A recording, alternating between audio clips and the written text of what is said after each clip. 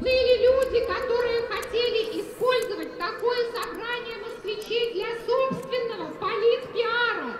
Но мы с вами смогли все это преодолеть. Я хочу сказать одну вещь. Сегодня к нам без опознавательных знаков пришли несколько а, политиков и много политических партий. Спасибо всем политикам, которые приходят и, и не требуют выступления. Это очень здорово.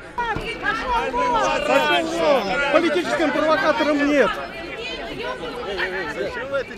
Зачем вы это делаете? Вы сумасшедший человек. устранить и сделать врагами тех, кого не пускать? Да потому что это политический митинг начинается. Зачем? У нас гражданский митинг. Оставьте Алексея Навального в покое. настоящие